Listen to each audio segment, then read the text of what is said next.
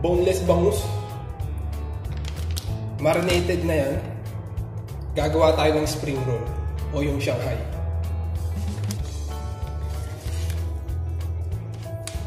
Ang gagawin ko, i-oven ko muna yung bangus.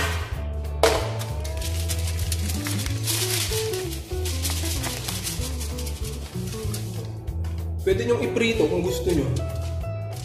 I-oven ko lang siya saglit. Habang ino-oven natin yung bangus, iiwain na natin yung mga ingredients natin. Carrots, gagamit tayo. Babalatan ko lang saglit. Nasa sa inyo kung gusto nyo balatan o hindi.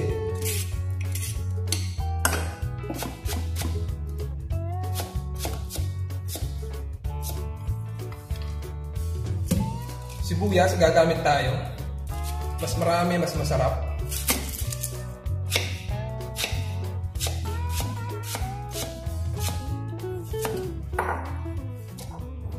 Parsley, gagamit din tayo. Sa mga ayaw ng parsley, kahit hindi kayo maglagay.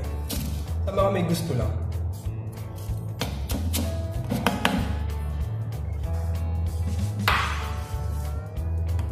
Bell pepper, maglalagay din ako. Wala lang, gusto ko lang. Sa mga ayaw nito, hindi mo kayo maglagay.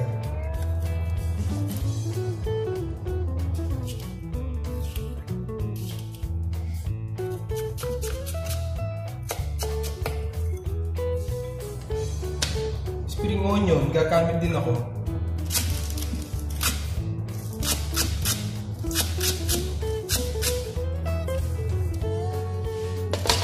Ito na yung bones natin. Ang gagawin natin ngayon, kukuhanin lang natin yung laman. Iiwan natin yung balat.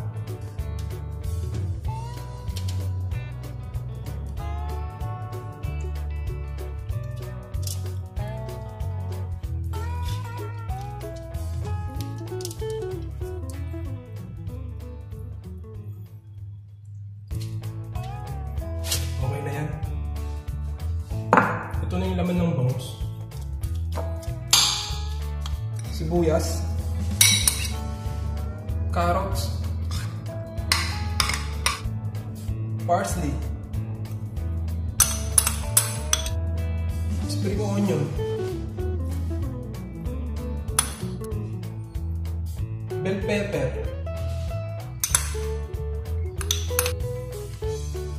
Black pepper. Siyempre, mas masarap. Mas marami. Asin. Chicken powder, maglalagay din ako. Itlog. Tapos, ihalo lang natin hanggang sa mag-combine yung mga ingredients.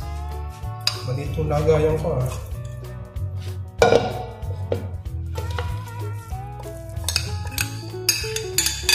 Ihalo lang natin hanggang sa mag-combine yung mga ingredients. Okay na yan. Ibalot na natin.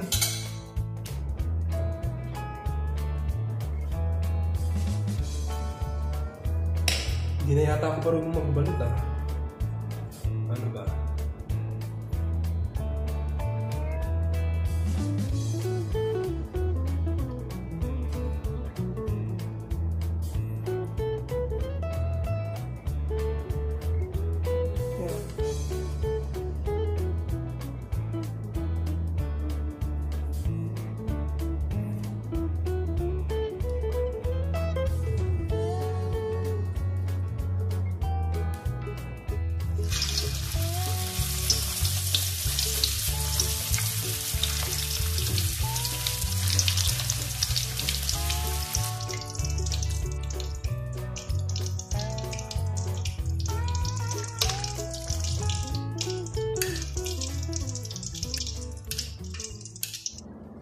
Oh, ready na.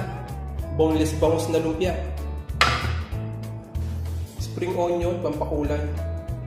Kahit wala yan, pwede yan.